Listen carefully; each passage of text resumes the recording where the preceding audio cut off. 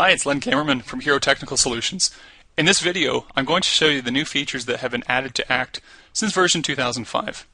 The reason I put this video together is because ACT 2012 has just come out, and I'm realizing that not only are customers who are on ACT 2010 and 2011 looking to upgrade, but also customers who are on older versions like ACT 2006, 2007, and so on. So what I've done in this video is I've picked the most significant three features in my opinion, from each version and listed those. Some of them I'll just talk about briefly, others I'm actually going to show you what they look like inside of ACT 2012, even though they may have been introduced in different versions. Okay, so first up, ACT 2005. This was the first SQL version of ACT. And we got company records. We got dynamic groups as well as advanced queries. And improved synchronization. Okay, so I'll show you company records and dynamic groups. In terms of synchronization, the model was completely rewritten in Act 2005. Had some kinks to work out, but it was a far improvement over the synchronization in Act 6 and earlier.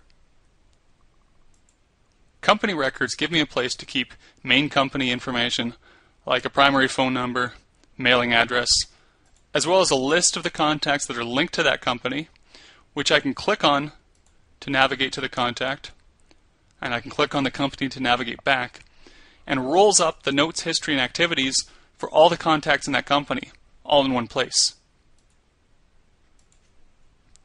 Advanced queries allow me to do a, a search with multiple lines of criteria in a fairly easy to use way.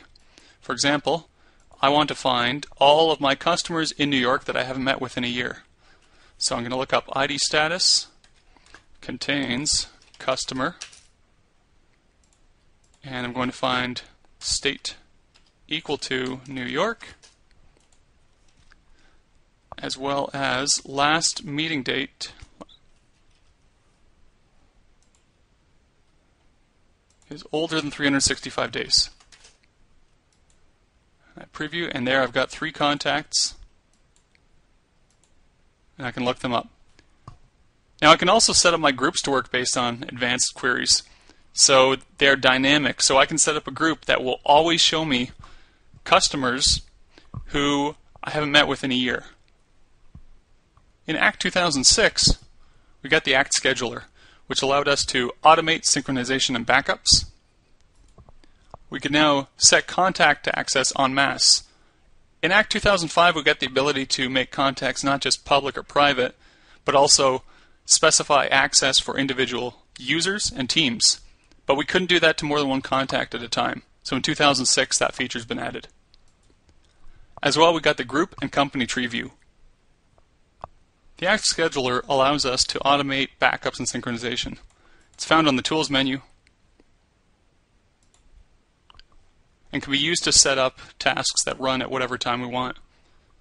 So for example, remote databases can be set up to synchronize automatically, and you can set your database to backup perhaps daily at a certain time.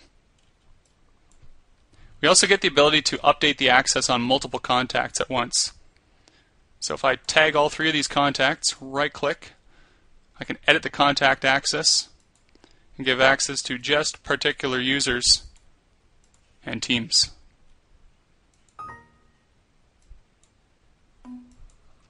Also, we get the group and company tree view. For example, if I bring up the companies, we have this tree view on the side. This was introduced in Act 2006. In Act 2007, we got the ability to change the links between company and contact fields.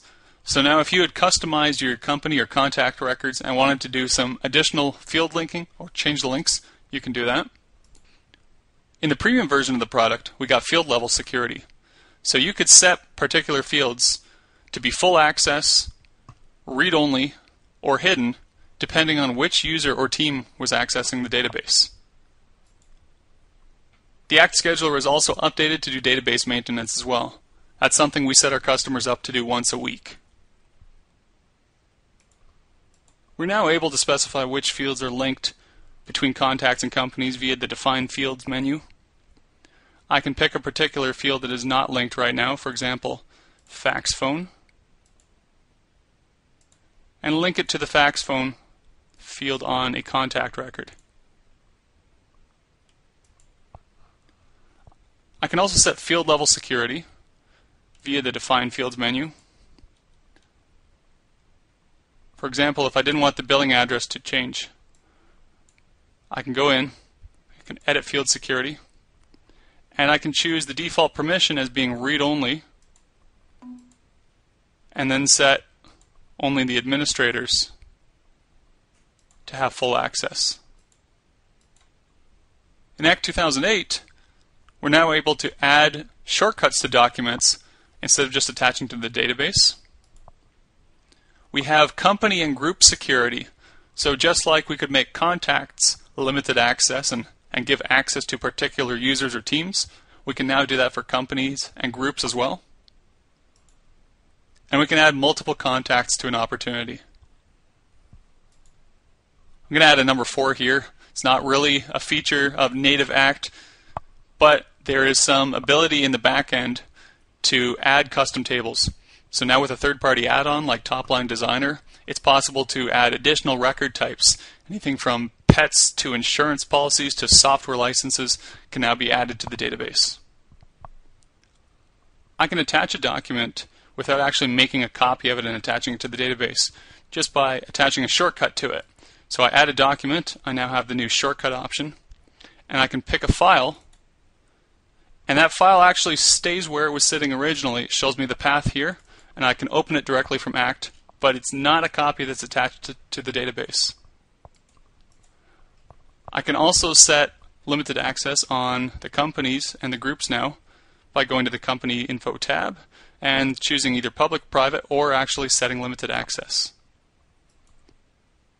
Here's an example of a custom table within ACT. I can now track insurance records for each of my contacts. I can click the Add button to add a new record, and I have all these customized fields for tracking insurance. So this is just an example. You could track anything you wanted and create whatever fields you need to do that, so long as you're on Act 10.2 or later and have a license of Topline Designer. In 2009, we got improved Outlook integration.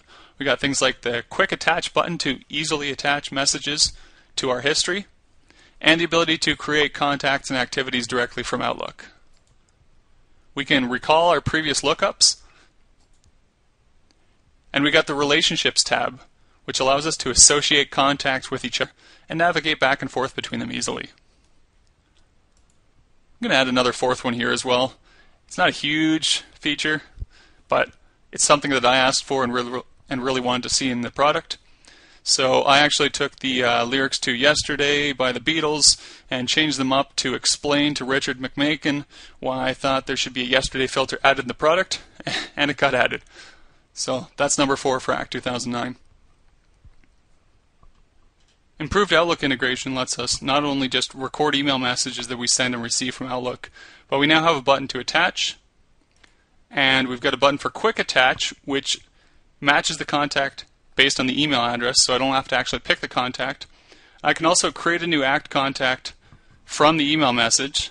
So this is a test message I sent, and the contact that comes up, it fills in the name and the email address already, and I can fill in the rest. Or I can take the body of the email and create a new activity, and we can schedule it from here. I can check out my previous lookups by going to the lookup menu, and then going to previous, and it shows the last I believe it's about 20 or so lookups that are done. So if I do a, a lookup, whether it's simple or complicated, it will return me to that particular record or that particular lookup just by clicking. Also, we get the Relationships tab, which means that we can take a contact, go to Relationships, and relate it to another contact in the database. And if I want, I can I can define what the relationship is. It's optional, but if you want to record that, you can choose it from the drop-down list and you can add and remove from this, and even record details if you want. Once that's done, now from Susie's record, I can navigate to Mike's record and back and forth. In Act 2010, we got improved navigation. We got the big buttons at the top of the screen, and really the look of the product changed, and it got a little easier to use. We also got the Web Info tab, which allowed us to pull information from web pages and, and bring up things like the weather or driving directions based on the contact we're looking at, or even find them in LinkedIn. Act eMarketing is now built in. So what is called Swiftpage is now available in Act as Act eMarketing without additional software to install, though it is a subscription-based service. And I couldn't narrow it down to three on this one, so this is actually a fourth significant change in Act 2010. The Opportunity Records underwent a huge upgrade. The new look that you've been seeing was introduced in Act 2010. We've got the big easy buttons at the top here that make it easy for us to use the most commonly used functions. And we've also got a new navigation system on the side here with a built-in lookup menu and the nav bar that navigates to the other areas of the program, as well as the welcome page, which is a great place to check out some featured videos and find some getting started information to get you up to speed using ACT. We've also got the Web Info tab. So if I pull up a contact record and I go to the Web Info tab, and I might want to resize this, I can go and find the contact's website. Uh, this website doesn't exist, it's a test one here, but I could see, I can search for that contact on LinkedIn. It's asking me to log on there. Or I can pull up driving directions, which will take my driving my address in ACT and map them against the address of this contact. And you can pull that up here, but you can also launch this in a separate browser window to give you a little bit more room on the screen. One of my favorite upgrades to ACT over the last few releases has also been the changes to opportunities. Opportunities are now their own record.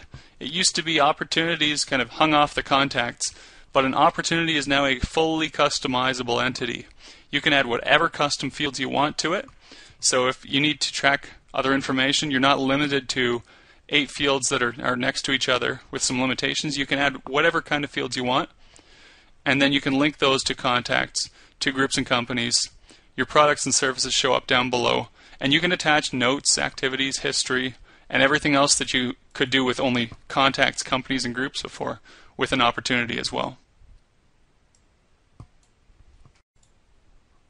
In 2011, we got Smart Tasks, compatibility with Office 2010, and we can filter by history types.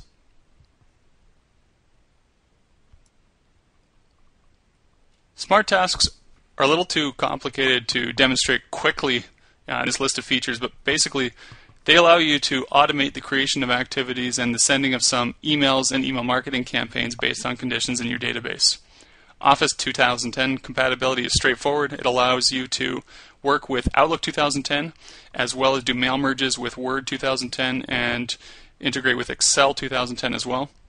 And then history filtering allows you to filter what kind of history you want to look for. So now we can really drill down here. If I only want to see phone calls, not just all history, but now we can pick just phone calls, for example or whatever kind of filtering you want to do here. Maybe we only want to see email. We can turn off all the other options and just do attached email.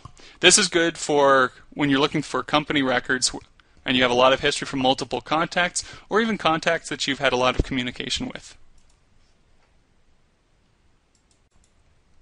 In 2012, the new release, we have Scratchpad, Universal Search, and Sage ACT Connect.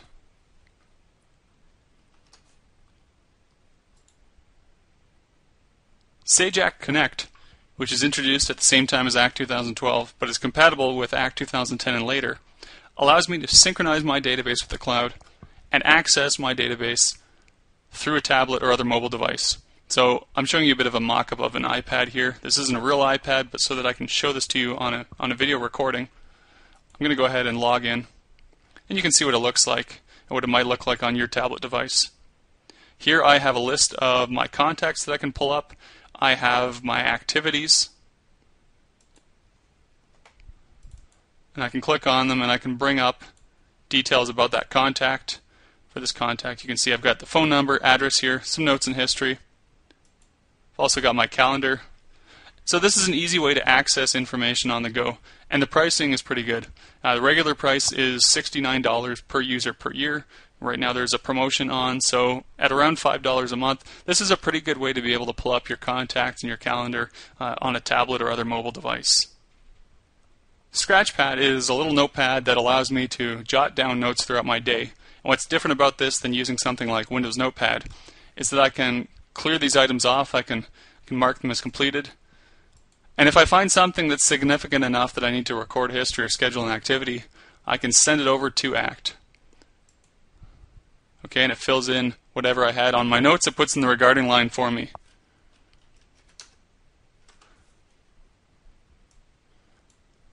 And it can run even when ACT's not running.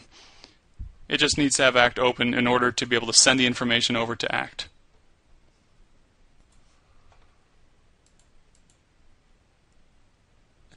Universal search is really useful because it allows me to search not only contact information but also attached documents. So for example, if I have PDFs or Word documents attached and they are resumes and I need a JavaScript programmer, I can type in JavaScript and it returns to me the attachments that matched as well as any other record types. And I can tell it you know only give me contact records or only give me history and filter these on, on whatever that like.